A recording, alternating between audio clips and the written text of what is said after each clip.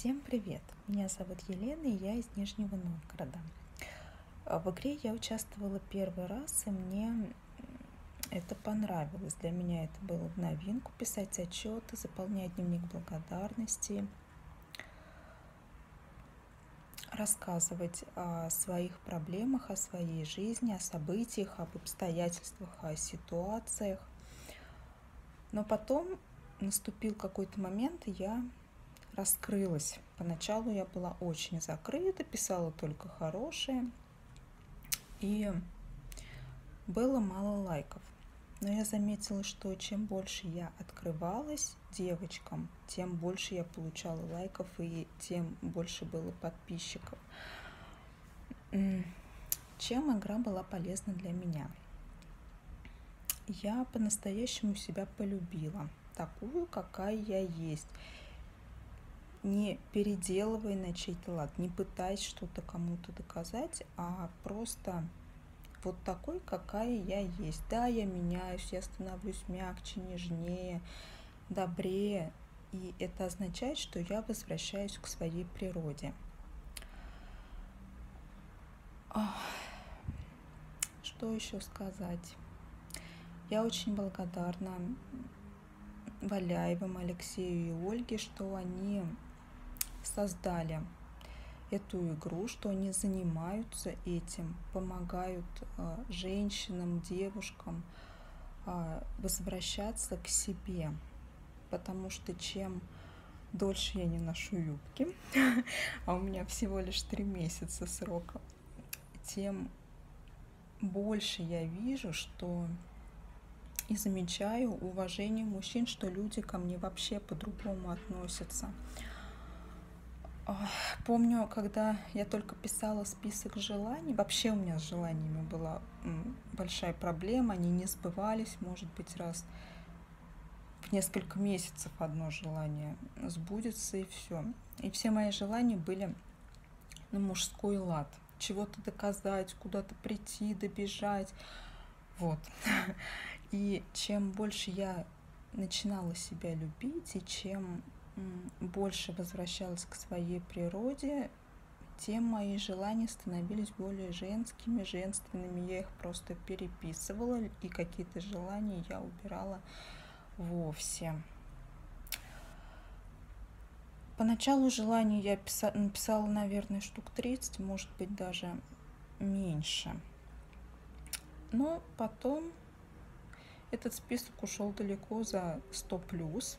я продолжаю писать, и мои желания теперь а, каждый день исполняются. Какое-то желание, но обязательно исполняется. По окончании игры я продолжаю идти к своим целям, которые поставила, продолжаю выполнять ежедневные дела. Это просто вошло в привычку, и для всего для этого находится время. Конечно, я отдыхаю, позволяю себе расслабляться, но ничего никуда не девается, и все приходит само. Это самое главное. И написала я в этом, об этом финальном отчете, но самое главное, что я поняла для себя, это то, что я не хочу возвращаться к бывшему мужу. Признаться честно, самым первым моим желанием, которое я написала, это помириться с ним. Но когда я стала себя узнавать при помощи медитации, я поняла, что я этого не хочу и что мне не нужно, и что когда я выходила замуж, точнее женила его на себе, я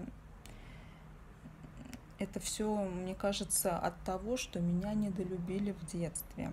Сама я к нему любви не испытывала, и она у меня не появилась, и в течение пяти лет мы просто трепали друг другу нервы. Было все. И драки, и оскорбления, и унижения. И вроде бы даже это желание стало мое исполняться понемножку. Но просто в конце игры, наверное, дня за три я поняла, что мне это просто не нужно пришла моя дочка. Иди сюда. Вот, Маргарита замечательная. С кем ты разговариваешь? Привет. Скажи привет. Привет. Вот, и то есть я поняла, что с мужем мы настолько разные, что у нас настолько разные интересы с ним. Иди сюда ко мне. Эй, что, что такое я просто это не на хочу к нему возвращаться. Ну И зачем? в- вроде бы он стал делать какие-то шаги навстречу, но мне это просто Ах, не, не нужно. Я не знаю, как будет дальше, как Мама. сложится жизнь, но сейчас я чувствую себя очень уверенной в себе, знаю о своих желаниях, Мам. знаю, к чему идти. Мама, Я к а с этому кем уже ты иду. разговариваешь? С Ни с кем. И я уверена, что у меня будет все хорошо, и мне встретится человек, который мне нужен. Я уже написала, описала его, качества, которые мне нужны. И это не мой муж, а не такие качества, как у него.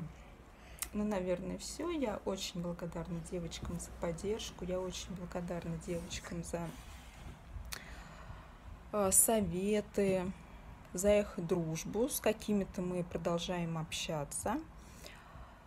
И я надеюсь, продолжим, и это перерастет а, в настоящую дружбу. Я желаю всем удачи, и я хочу участвовать еще.